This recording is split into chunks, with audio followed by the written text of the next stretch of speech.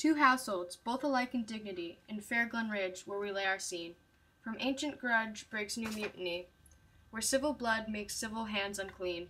From forth the fatal loins of these two foes, a pair of star-crossed lovers take their lives, whose misadventures, piteous overthrows, do with their death bury their owner's strife.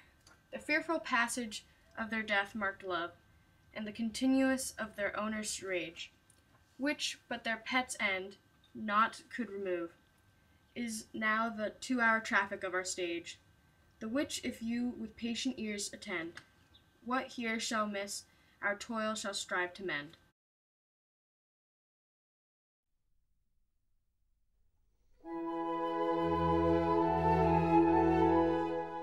He jests at scars that never felt a wound.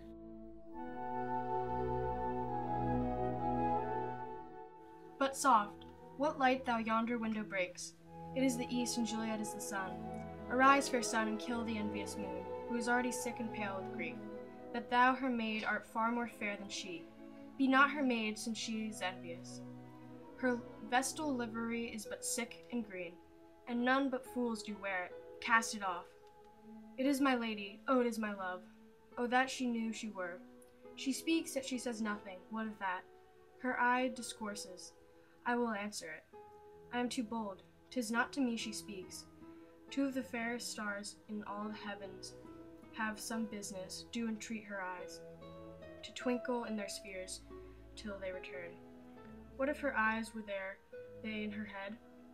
This brightness of her cheek would shame those stars, as daylight doth a lamp her eye in heaven. What thou the airy region stream so bright, that birds would sing and think it were not night. See how she leans her cheek upon her hand. Oh, would I were a glove upon that hand, that I might touch that cheek. Ay me. She speaks. Oh, speak again, bright angel, for thou art as glorious to this night. O Romeo, Romeo, wherefore art thou, Romeo? Deny thy father and refuse thy name. Or if thou wilt not be, but sworn my love, and I'll no longer be a Capulet. Shall I hear more, or shall I speak at this? Tis but thy name that is my enemy. Thou art thyself, thou not of Montague. What's a Montague? It is nor hand, nor foot, nor arm, nor face, nor any other part belonging to man. Oh, be some other name. What's in a name? That which we call a rose by any other name would smell as sweet. So Romeo would, were he not Romeo called, retain that dear perfection which he owns. Without that title, Romeo doth thy name, and for that name which he is no part of thee, take all myself. Take thee at thy word. Call me but love, and I'll be new baptized. Henceforth I never will be Romeo. What man art thou that thus screamed in the night, so stumblest on my counsel? My name I know not how to tell thee who I am. My name, dear saint, is hateful to myself, because it is an enemy to thee.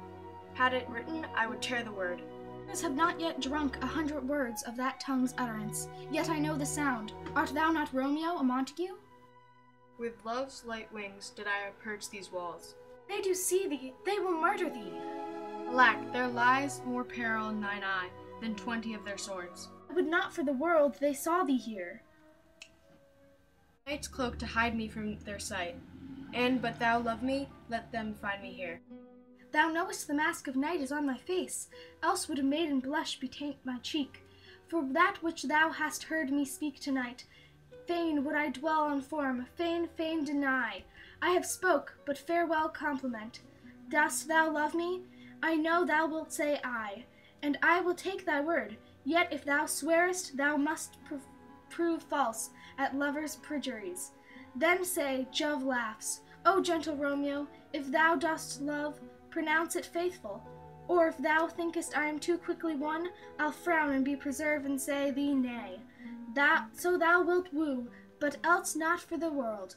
In truth, fair Montague, I am too fond, and therefore thou mayest think my behaviour light. Trust me, gentlemen, I prove more true than those that have more cunning to be strange.